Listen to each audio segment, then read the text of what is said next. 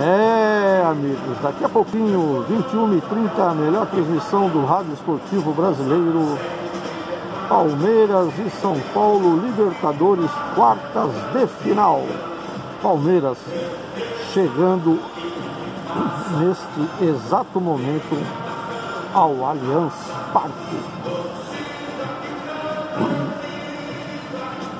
21 e 30, melhor transmissão do Rádio Esportivo Brasileiro, Rádio Sonora FM 98,7.